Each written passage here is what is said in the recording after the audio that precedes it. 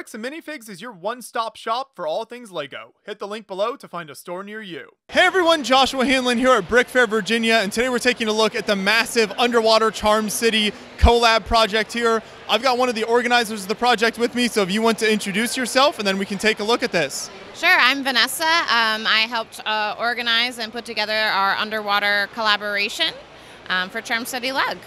So this is a huge layout here. How many people were involved in this whole thing?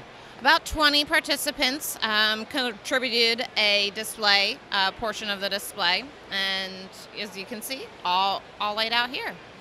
And there's a variety of different approaches and kind of types of building that we'll see here. So we'll kind of start at just the, the left end and kind of make our way down. Right off the bat, we've got a very unique part here. What is happening in this section? Uh, part of the theme is sort of mermaid uh, interpretation. So everyone took their own underwater take of maybe mermaids live there, maybe they don't. Here we see a rock concert happening behind a beautiful landscape. And so it, it turned out great, all the lovely interpretations, and that's just one of the many versions.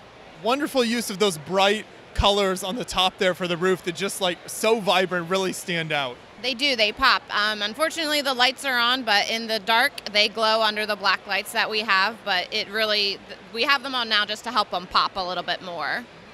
And as we make our way around, we come to maybe the tallest section of the build. So this is like a large rock structure. What's happening around here? Uh, this I called it Mer Maybe Rock. Uh, maybe mermaids live there, maybe they don't. You can see the treasure cave. Um, so, you know, all open to interpretation. Use your imagination of who might live there and who might live nearby. And how did the rock structure itself uh, come together in this section?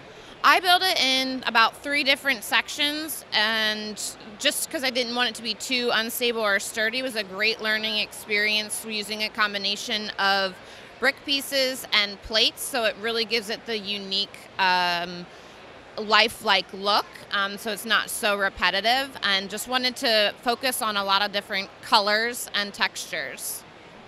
And some really neat kind of piece choices here for the underwater coral and some of that plant life. So, what are your some of your favorites that are around that area? Uh, I had some help with bringing together ideas for the different colors and textures. I love using, they're actually called, um, I believe, voodoo balls, the little bright pink balls there in the corner, and just putting those on um, around. Someone else had come up with that idea, and I thought that's a great way to use those parts to give texture, but also to sort of have some plant life that's repeated throughout the build. And as we move to the next section, you can start to see kind of the, the base for the layout in terms of the the style of this all coming together. So what is the the base for all this that you kind of build on top of? Our standard for the build was using the octagonal plates um, in with a four by four plate in between. We borrowed that idea and asked another um, lug who had done something similar in the past if we could borrow this theme or idea and just sort of use that as our standard and allowed everyone in our lug to build off of it on their own. It worked out really well because it allowed for um, fluid and, and movement, so that way it wasn't so rigid. And for an underwater build, the octagonal plates have just worked out beautifully to keep everything organic and look like an ocean floor. No, I think it looks fantastic. That brings us to another really nice section of rock work with a fun treasure chest, some gold hidden back there. Absolutely, yeah. I, one thing that I love about the uniqueness of doing an underwater build is when you kind of add play to it, like a mermaid theme, you can do so many different things. You're not structured to just one scale. So you have a giant treasure chest, yet with this tiny little shark, and it and it works. There's so many different textures and ideas that come together, uh, and they might be different on their own, but yet when you put them together, it really looks great. This next section looks very different from some of what we've seen so far. What's happening here? Um, this is what lies beneath um, by Mark, one of our team builds. So you can see it's sort of like a ruinous um, area, and just that's what I think is great about the underwater build. Everyone interpreted their own fantasy or uh, use their imagination to make it great. A little maybe monster action or something coming up from uh, from the deep. Absolutely, yes. It, not not all beautiful bright colors under the sea. Then we get to some of our first movement here, and this is super fun because it kind of gives that idea of the all the different sea creatures just kind of moving through. So, what are some of the different fish and creatures represented here? Uh, you see some turtles, some fish, and again, open for interpretation. You see the cute little flounder, as well as a big shark, or excuse me, a big dolphin, um, all moving around. I like the organic sort of pattern that was used to create that movement. It's not just a square or a circle to go around, so it's really catching your eye and keeping it interesting. And uh, fantastic variety of figures. We've got the skeleton diver, the ghost out here, some mermaids there. Absolutely. I mean, it, br- bring it all here to you know use, like I said, your imagination. And there's so many great minifigs. Put them all in, and you know, go from there. Next, we have someone always wanted to do SpongeBob, and it looks like this was their excuse to do that. Yeah, absolutely. I remember in a uh, chat channel, someone said, I think I might do SpongeBob, and her idea really came to life. You see it, you get it with the big flowers behind, giving a good background and depth. It's lovely. Down from there, the mermaids have set up a pe- permanent residence, it looks like, with this, so it's a full, full house to live in. Absolutely. I love all the different textures and colors that she put into this. Um, it's not just a big square building, it has life and movement and you know all four sides are are decorated and covered in the underwater life. The next section, I think, was done by Caden, which is a builder that we featured many times on Beyond the Brick. He's really into the military builds, so it looks like he got a little bit of that representation in this section. Oh, he did, and I love how he just has these small pops of color amongst the the floor um, where the sunken ships are. So it's it, it really draws your attention to it because it's not. So many of the others have a lot of color and things going on, but you are drawn to that just by its simplicity with these little tiny pops of color with the little um, green plants and then the little curv- curvy ones. I forget what their names are, but it just it's lovely. And as we round the corner, that brings us to another colorful section. What, what is happening right here? Uh, this is just another under, underwater scene interpretation um, with some organic animals that uh, she created along with the minifigs exploration uh, sea base. Uh, I think it's a great parts usage to create sort of like a building and merge both unique sea creatures with your minifig explorers. Once again, so many fantastic parts. You can just stare at this for so long, kind of picking apart all the different elements that were used there.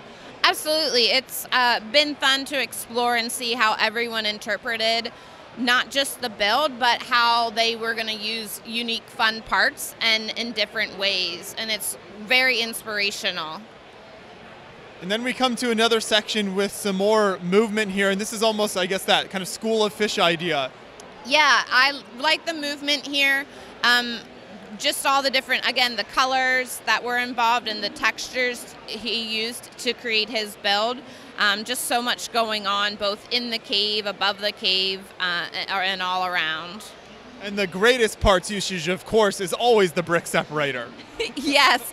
You never think about using the brick separator as a part, but I do love when it's in, it's included in builds like that.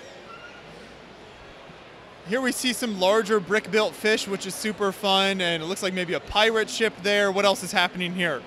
Just another underwater scene with a lot of movement. Uh, you have a mer- mermaid riding one of those brick built fish. Uh, maybe they're chasing or racing. So lots of different action items happening, just drawing you in to keep keep you interested and, and thinking about what what's happening, using your imagination.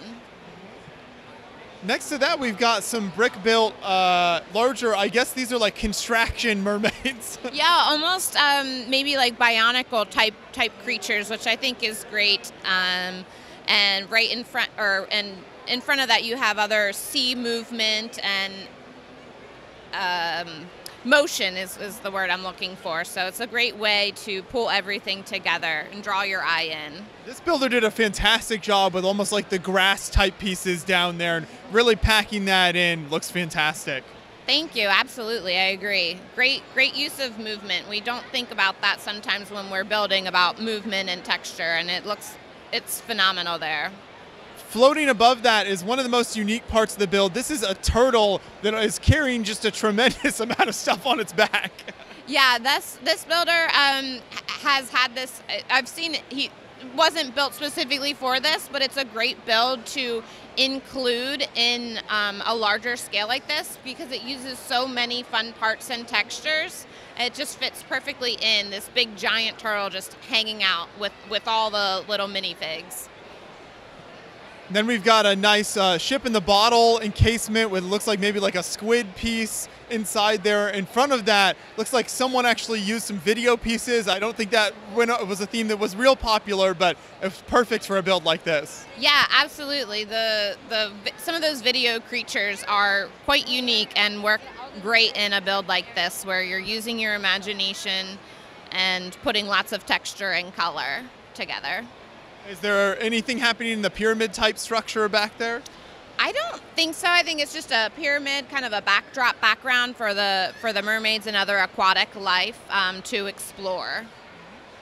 Now up front, it's more of like a Viking longship that sank here, and lots of sea creatures are living in that. Plus, you got some divers exploring it, which always adds some nice sense of action to it. Yeah, it does, and I love kind of the uh, little creatures that have moved into the ship. Behind that is some nice uh, rock formations as well. You might recognize some of the characters hanging around there. And then once again, we have a creature floating above it there. Lots of tentacles on that one. Yeah, it's a great parts usage to create a jellyfish and use some unique parts that you maybe wouldn't see used in, in that way. And really kind of the, adds height height to the build and draw your eye in and keep you looking and searching. I also love here in that foreground some fun ways to use parts like the uh, pirates hats. Um, just all the parts that are used in this. I don't know that we'll ever be able to count them all up. And then the, the largest pirate ship, uh, I think, in, in the display here, which you've got to have a large sunken pirate ship in a, in a display like this. Yeah, it's so fun how it it was built and cracked, and you can see the rock that it crashed landed on, and all the sea creatures have taken over.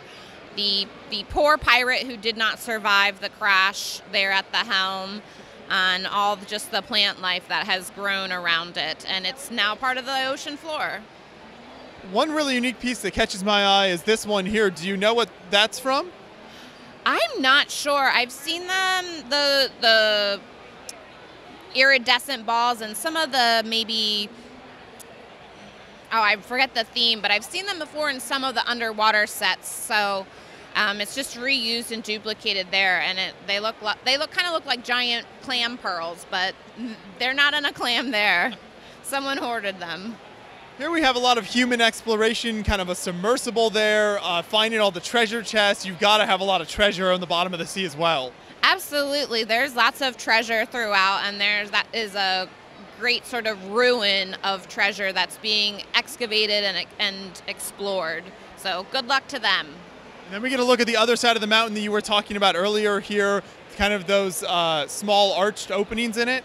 Yeah, I created them just kind of as maybe mermaids live there, maybe they don't. Uh, they were a fun way to build and kind of create some sort of unity uh, in in the rock structure um, with the little seashells as ledges or doorsteps.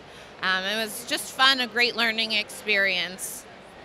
We talked about the brick separators earlier. Now you see them used to create actual underwater creatures here with those various eye tiles on them. Absolutely, and the uh, flippers, or I think they're called frogman's feet, used for the fins and hairstyles. It's a great way to use up fun, silly parts and make a great, fun fish.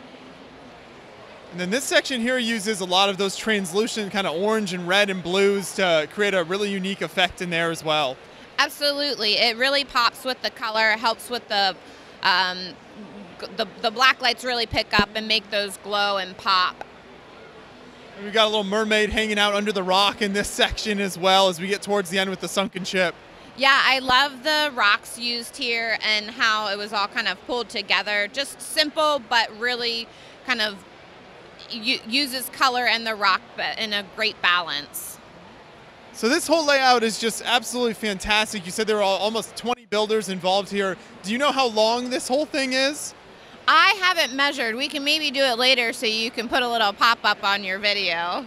There we go. Yeah, but it's it's a very impressive layout. As as all the builders were showing up, what was the process like of kind of getting this set up? Because obviously you've got a lot of people bringing in builds here. Yeah, it was kind of um, just a slow process bringing builds together. We did plan a layout uh, once everyone knew the size of their uh, what their would their estimated size of what it would be, and then once it was together, for the most part, we stuck to the layout. Um, there was a few extra uh, plates that people had brought with decoration or plant life added on it, so that we could fill in and not have any gaps. And it it just sort of made we once we put it all together made sure we liked the layout. But with the fluidity of how the octagonal plates work it allowed us to move things around if we thought that it needed to move or be placed somewhere different Sounds good. Well, thank you so much to you and the rest of the lug here for, for all the effort that you all put into this. And I think it's been a big hit with the public too as they search out all these fun colors and pieces. Absolutely. Thank you so much for your time and featuring us. We appreciate it.